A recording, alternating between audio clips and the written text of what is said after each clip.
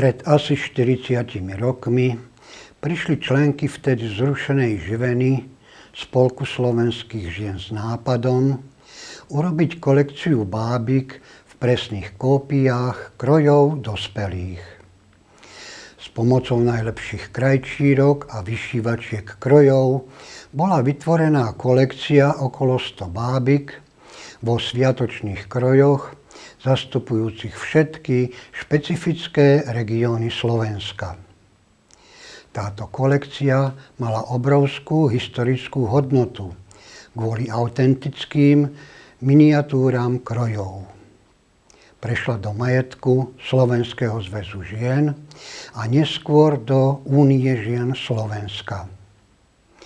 V roku 1996 prišla Únia žien Slovenska s ďalším podobným projektom nazvaným Minikroje.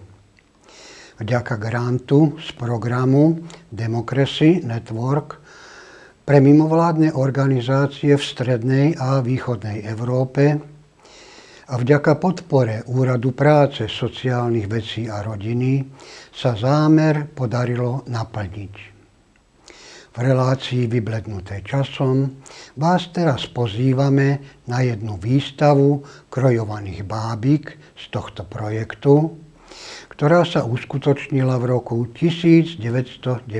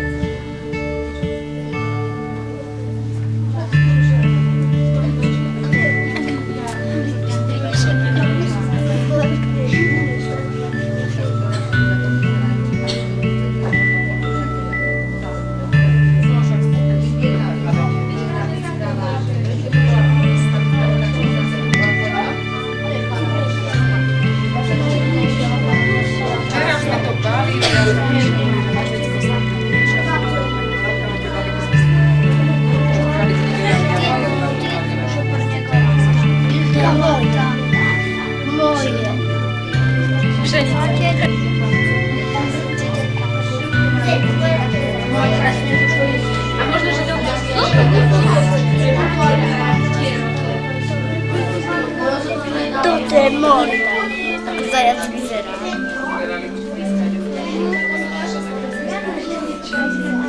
A, czyli presjanka, presjanka kołaczy kłapała łapę za prawą, czyli miała... Ale... Moja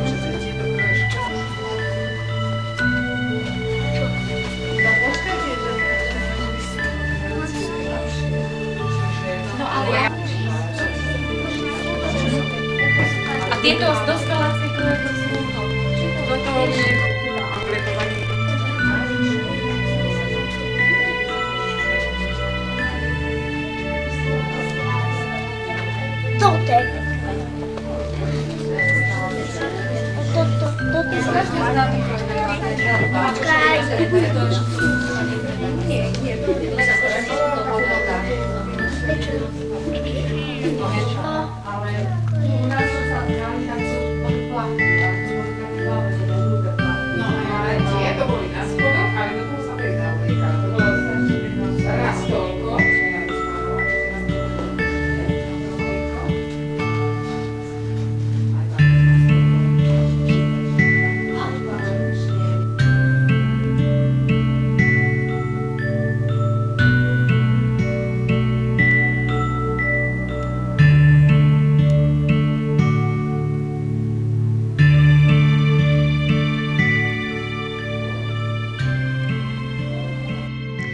Na základe projektu Minikroje, autorom ktorého bola Únia žien Slovenska, získalo prácu viac ako 100 žien formou verejnoprospešných prác.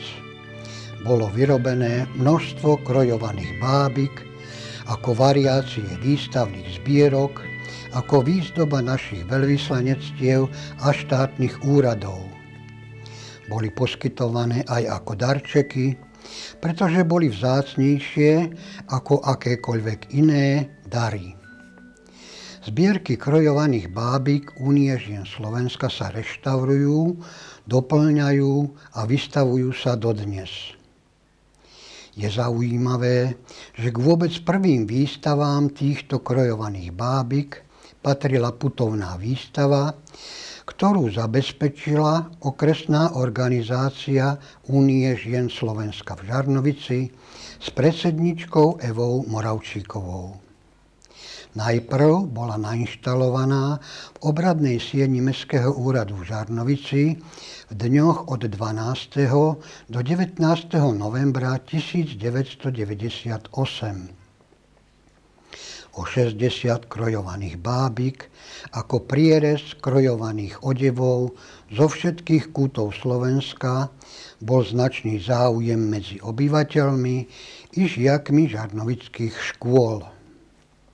Od 20. do 25.